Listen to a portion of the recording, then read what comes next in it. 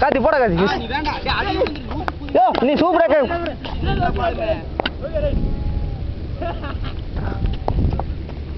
இது டிஃபரண்ட்ல இருக்கணுமே.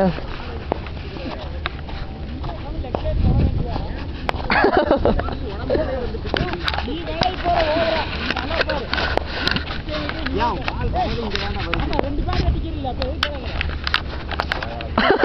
கால் இறங்கு.